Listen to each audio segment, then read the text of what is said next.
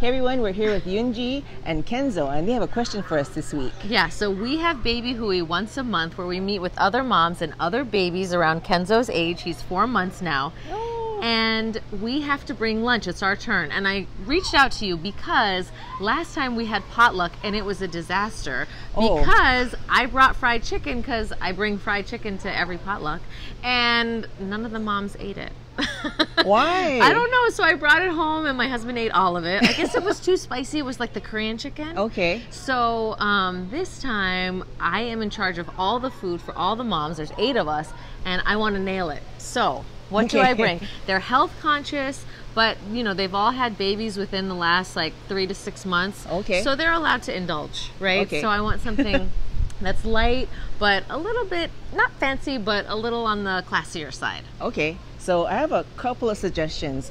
The, off the top of my head, one of the first places is um, actually Lanakila Pacific, which is um, on Bachelot Street, and uh, you know they, they do some culinary training for people with disabilities, and I actually have not uh, catered myself through them, but I've been a recipient of the catering there. So you Oh. can kind of customize if you want salads or sandwiches and um, how healthy or not.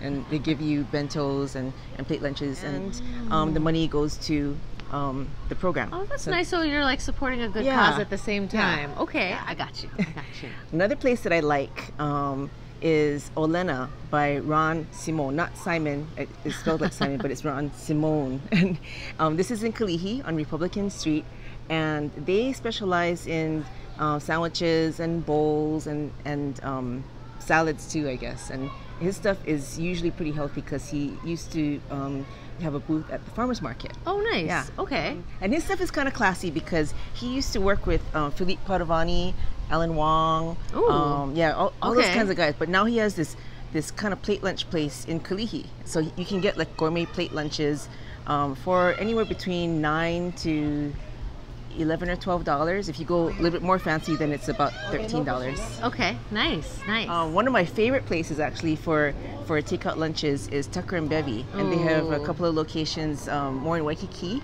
and that's very healthy. It's um, very fresh. It's based on Australian cuisine, so it's very fresh cuisine. A lot of salads, wraps, um, sandwiches, and they even have vegan options. Oh, nice. Yeah. I've gone there to the Waikiki one, and they um, to get sandwiches to go and then go watch the sunset on the beach. Yeah. It's so nice. Yeah. Yeah. that's really yummy. They have, I know they do this like brie sandwich that I've had there. That's Oh, so yeah, that's so delicious. good. okay, well, I'm gonna check out all three. I'm leaning toward the third one, but I will let you know.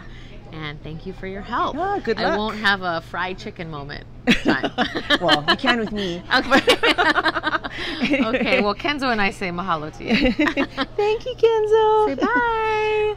Okay, so um, if you like what you see, make sure you subs- hit that subscribe button and hit that bell so that every time we upload a new video, you'll get notified. Thanks, and see you next time.